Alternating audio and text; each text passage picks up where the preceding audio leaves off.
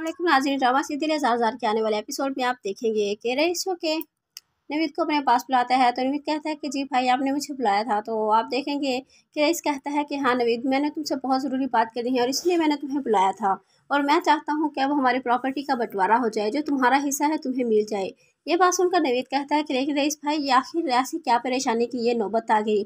आप जानते हैं कि मेरा तो प्रॉपर्टी में जो भी हिस्सा था, वो पहले ही मैं बेच कर अपने बिज़नेस में ज़ाया करके ख़त्म कर चुका हूँ। अब मेरे पास तो अगर आप मुझे अलग करेंगे तो कुछ भी नहीं बचेगा।